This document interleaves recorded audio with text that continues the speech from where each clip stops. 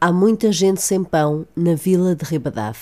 Esta foi a afirmação mais marcante preferida na cerimónia do 23º aniversário de elevação de Ribadave à vila no passado dia 18 de dezembro. A observação foi feita pelo autarca da freguesia na sua intervenção quando comparava o passado pujante e o presente empobrecido de Ribadave.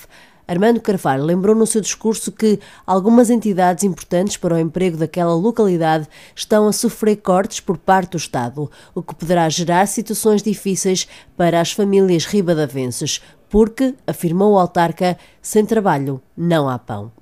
O têxtil desapareceu. Sobre o Hospital Narciso Ferreira pairam nuvens, nuvens cinzentas devido aos cortes nos protocolos que, que este possui com a ADSE. Sobre as nossas escolas, Externato Elfim Ferreira e Didaxes, devido aos cortes orçamentais para 2011, levantam-se grandes interrogações. Estas unidades são grandes absorvedoras de emprego na nossa vila. Com a falta delas, que faremos? Em dia de aniversário, sou vice-presidente da Câmara, não seria provavelmente o discurso que gostaria de ouvir, mas estas são as nossas grandes preocupações. Sem emprego não há pão, e já há muita gente sem pão nesta terra. O autarca Ribadavense considerou ainda que a freguesia sofre também pela falta de investimento, reivindicando esse dever à Câmara de Famalicão. A nossa terra decaiu. Foi a falta de reabilitação do mercado finalmente conseguida. Foi a destruição do, cine, do Cineteatro Narciso Ferreira. Foi a degradação do quartel da Guarda Nacional Republicana, agora colocado em, em situação provisória. Foi principalmente a falta de investimento público. Esta grave lacuna fez que eu, com que outras freguesias progredissem e a nossa definhasse.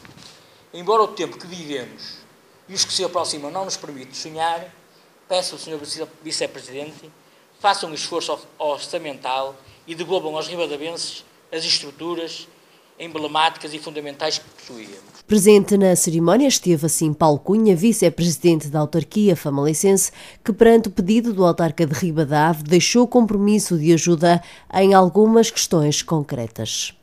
Nós não podemos fazer empresas, nós não podemos criar postos de trabalho diretos, mas nós podemos investir na educação.